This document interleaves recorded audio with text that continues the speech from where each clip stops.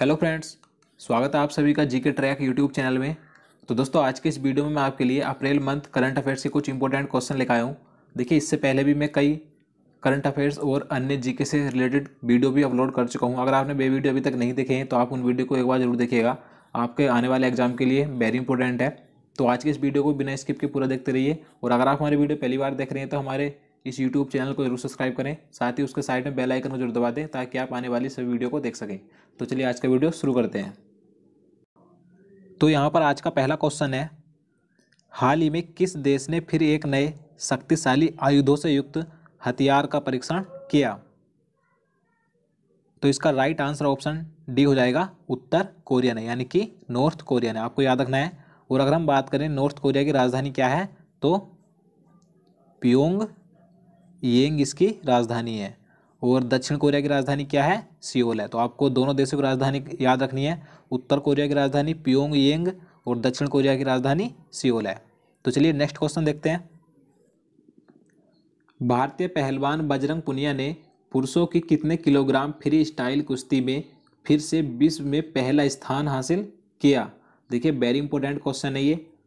तो इसका right answer option B हो जाएगा। पैंसठ किलोग्राम फ्री स्टाइल कुश्ती में भारतीय पहलवान बजरंग पुनिया ने पहला स्थान हासिल किया है। तो आप इसे ज़रूर याद रखिएगा। नेक्स्ट क्वेश्चन देखते हैं।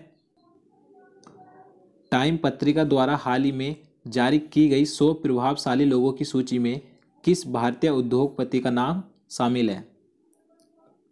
तो इसका राइट आंसर ऑप्शन ए हो जाएगा, मुकेश अंबानी का। आपको याद रखना है। अभी टाइम पत्रिका ने हाल ही में एक सौ प्रभावशाली लोगों की सूची जारी की है, जिसमें भारतीय उद्योगपति मुकेश अंबानी का नाम शामिल है। और इनके साथ भारत की दो महिलाएँ भी हैं, जिन जिनका नाम भी इसमें शामिल किया गया है, अरुधंती कार्जो और मेनका गुरु स्वामी तो आपको इन तीनों का नाम याद रखना है। और मैं आपको टाइम पत्रिका के बारे में बता देता हूँ। देखिए, टाइम पत्रिका, ये अमेरिका का एक साप्ताहिक समाचार मैगनीज है, जिसका प्रकाशन अमेरिका के न्यूयॉर्क शहर से होता है। तो आपको याद रखना है, ये टाइम पत्रिका कहाँ का साप्ताहिक समाचार मैगनीज है? अमेरिका का। तो चलिए, नेक्स्ट क्वेश्चन देखते हैं। क्वेश्चन नंबर चार है भारत और वियतनाम के मध्य संपन्न हुए दूसरे नौसैनिक युद्ध अभ्यास में भारत के किस समुद्री जहाज़ को शामिल किया गया था? तो इसका राइट आंसर ऑप्शन सी हो जाएगा आई एन एस कोलकाता। इसे शामिल किया गया था और ये दूसरा जो भारत और वियतनाम के मध्य नौसैनिक युद्धाभ्यास था, ये तेरह से सोलह अप्रैल के बीच हुआ था। आपको याद रखना है। और अगर हम बात करें वियतनाम की राजधानी क्या है? तो हनोई है। तो आपको वियतनाम देश की राजधानी भी याद रखनी है। नेक्स्ट क्वेश्चन देखते हैं। विश्व प्रेस स्वतंत्रता सूचकांक 2019 में भारत निम्न में से कितने स्थान पर है? देखिए वेरी इंपॉर्टेंट क्वेश्चन है ये। तो इसका राइट आंसर ऑप्शन ए हो जाएगा। एक सौ स्थान पर है। इस समय भारत विश्व प्रेस स्वतंत्रता सूचकांक में जो भारत की रैंकिंग है 140 भी है। और ये कितने देशों में है? 180 देशों में भारत की रैंकिंग 140 भी है। अगर हम बात करें 2018 में भारत की रैंकिंग क्या थी? यानी कि पिछले वर्ष तो 138 भी थी। और इस समय पर जो पहले स्थान पर देश है, यानी कि पहले नंबर पर जो रैंकिंग है, किस देश की है? तो नार्वे देश की है। और दूसरे नंबर पर आता है फिनलैंड देश। तो आपको याद रखना है। नेक्स्ट क्वेश्चन देखते हैं। क्वेश्चन नंबर सिक्स है। विश्व लीवर, यानी कि विश्व यकृत दिवस कब मनाया जाता है? तो इसका सही आंसर ऑप्शन ए हो जाएगा 19 अप्रैल को। आपको याद रखना है, विश्व लीवर यानी कि यकृत दिवस 19 अप्रैल को मनाया जाता है। अगर हम यहाँ पर बात करें 18 अप्रैल की तो 18 अप्रैल को विश्व विरासत दिवस मनाया जाता है और 22 अप्रैल को विश्व पृथ्वी दिवस मनाया जाता है और 25 अप्रैल को विश्व मलेरिया दिवस मनाया जाता है। तो ये चारों दिवस वेरी इंपॉर्टेंट है तो आप इन्हें याद रखिएगा। नेक्स्ट क्वेश्चन देखते हैं। सुप्रीम कोर्ट द्वारा किस हाई कोर्ट के आदेश पर रोक लगाने से इनकार करने के बाद भारत में गूगल प्ले स्टोर और एप्पल ऐप स्टोर से Chinese video sharing app TikTok हटा दिया गया है। तो इसका राइट आंसर ऑप्शन ए हो जाएगा मद्रास हाई कोर्ट देखिए, मद्रास हाई कोर्ट ने सुप्रीम कोर्ट से टिकटॉक पर रोक लगाने को कहा था, लेकिन सुप्रीम कोर्ट ने इसे भारत में गूगल प्ले स्टोर और एप्पल के ऐप स्टोर से हटा दिया है। तो आप सभी इसके बारे में जानते होंगे टिकटॉक के बारे में। ये एक चाइनीज़ वीडियो शेयरिंग ऐप है। तो चलिए नेक्स्ट क्वेश्चन देखते हैं। क्वेश्चन नंबर आठ है, किस दिग्गज गायिका ने फरवरी में पुलवामा आतंकी हमले में शहीद हुए सीआरपीएफ जवानों के परिजनों को एक करोड़ रुपए देने की घोषणा की है?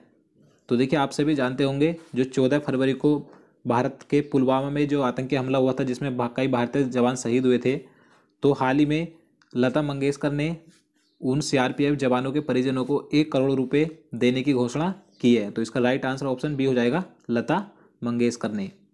नेक्स्ट क्वेश्चन देखते हैं।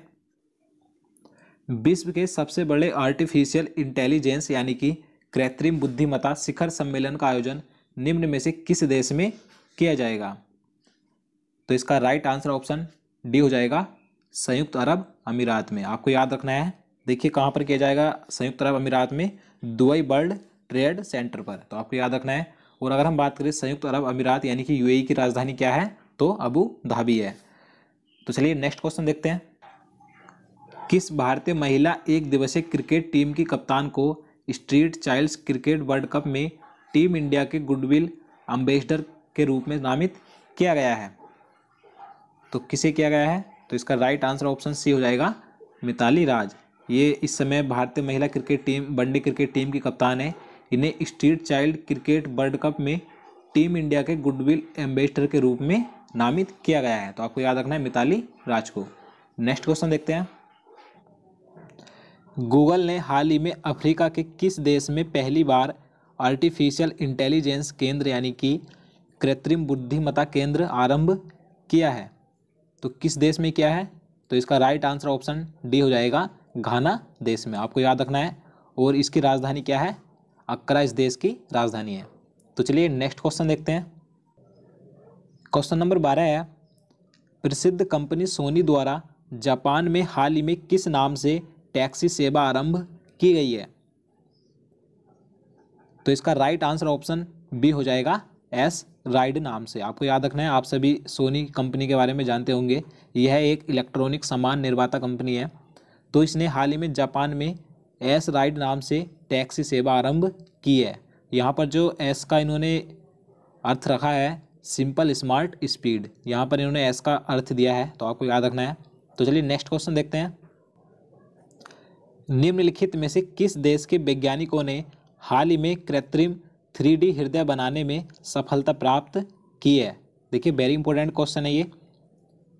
तो इसका राइट आंसर ऑप्शन डी हो जाएगा इजराइल इजराइल देश के वैज्ञानिकों ने कृत्रिम थ्री हृदय बनाने में सफलता हासिल की है। तो आपको ये ज़रूर याद रखना है। और अगर हम बात करें इसराइल देश की राजधानी क्या है तो जेरू सलाम है। तो ये कई बार एग्ज़ाम में राजधानी पूछी जाती है तो आप इसे भी याद रखेंगे। चलिए नेक्स्ट क्वेश्चन देखते हैं। वह देश जिसने हाल ही में विश्व की पहली सशस्त्र उभयचर, यानी कि पानी एवं ज़मीन पर चलने वाली ड्रोन नौका का सफल परीक्षण किया। तो इसका सही आंसर ऑप्शन सी हो जाएगा। चीन देश ने। देखिए, ये भी काफ़ी इंपॉर्टेंट क्वेश्चन है तो आपको ये भी याद रखना है। विश्व में पहली बार सशस्त्र उभयचर, यानी कि उभयचर, ज़मीन एवं पानी में चलने वाली ड्रोन नौका पहली बार किस देश ने बनाई है? तो चीन देश ने बनाई है, जिसका इन्होंने हाल ही में सफल परीक्षण किया है। तो चलिए, अगला क्वेश्चन देखते हैं। क्वेश्चन नंबर पंद्रह है, निम्नलिखित में से किसे हाल ही में केनरा बैंक का एमडी और सीईओ नियुक्त किया गया है? इसका सही आंसर ऑप्शन ए हो जाएगा आर ए शंकर नारायण को। आपको याद रखना है, इन्हें केनरा बैंक का एमडी यानी कि प्रबंध निदेशक और सीईओ यानी कि मुख्य कार्यकारी अधिकारी नियुक्त किया गया है, आर ए शंकर नारायण को। तो चलिए नेक्स्ट क्वेश्चन देखते हैं।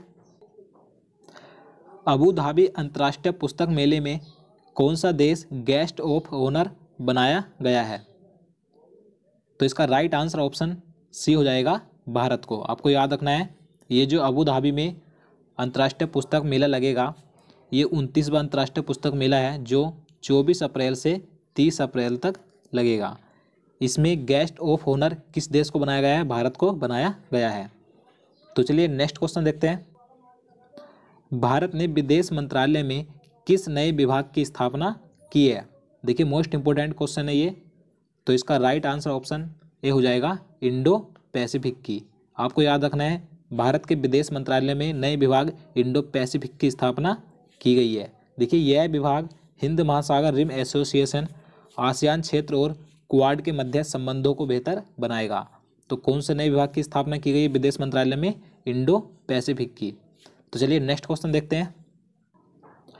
क्वेश्चन नंबर अठारह है, निम्नलिखित में से किस महिला बॉक्सर ने चौवन किलोग्राम श्रेणी में मुक्केबाजी विश्व कप 2019 में हाल ही में स्वर्ण पदक जीता है। तो देखिए, ये भी काफ़ी इंपॉर्टेंट क्वेश्चन है।